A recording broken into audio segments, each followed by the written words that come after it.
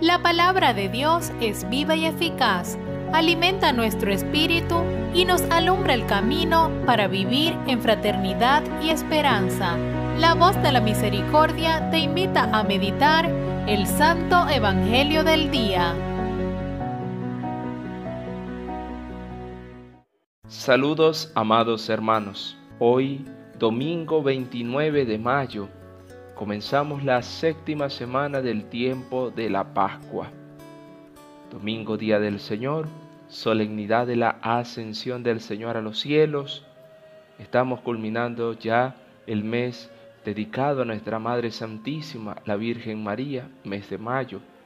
Vamos a centrar nuestra mirada en el Evangelio según San Lucas en el capítulo 24, versículo 46 al 53.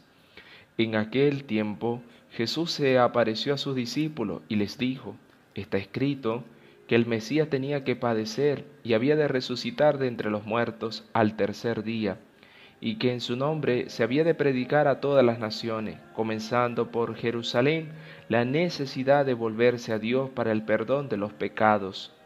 Ustedes son testigos de esto. Ahora yo les voy a enviar al que mi Padre les prometió. Permanezcan pues en la ciudad hasta que reciban la fuerza de lo alto.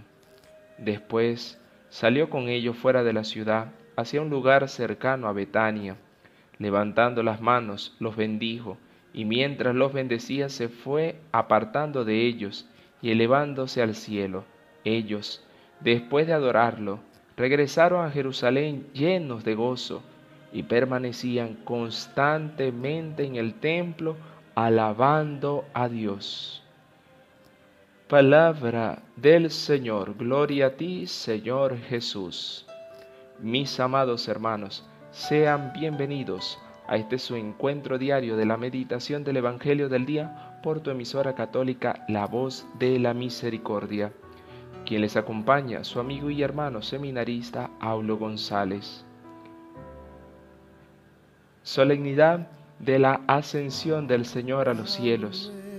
Comprender que en ese cielo nuevo y en esa tierra nueva hay una persona que dio la vida por nosotros, Cristo Jesús. Hay una persona que nos colmó de esperanza, de alegría, de entusiasmo, que inflamó nuestros corazones de amor.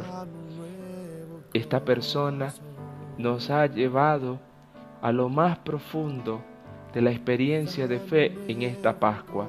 Cristo ha resucitado. Y lo más hermoso es que te ha dicho a ti y a mí, me voy al Padre, me voy a prepararles un sitio y cuando esté listo ese sitio, vendré y los llevaré conmigo, porque quiere estar siempre con nosotros. Somos testigos de la resurrección y somos enviados por el Padre a anunciar la buena nueva del resucitado ese corazón que ha sido cautivado por Dios y que eleva su mirada al cielo con la alegría de saber que un día estará allí, disfrutando de ese cielo nuevo y de esa tierra nueva. Debemos ir por el mundo, mis hermanos, siendo testigos, con la fuerza del Espíritu Santo que recibiremos y que hemos recibido desde nuestro bautismo. Digo recibiremos porque viene ahora la fiesta de Pentecostés durante esta semana estaremos meditando, pensando en esta maravillosa escena del Espíritu Santo que nos mueve a ser testigos de Jesucristo en el mundo. Tu palabra es lámpara en mis pasos y luz en mi sendero.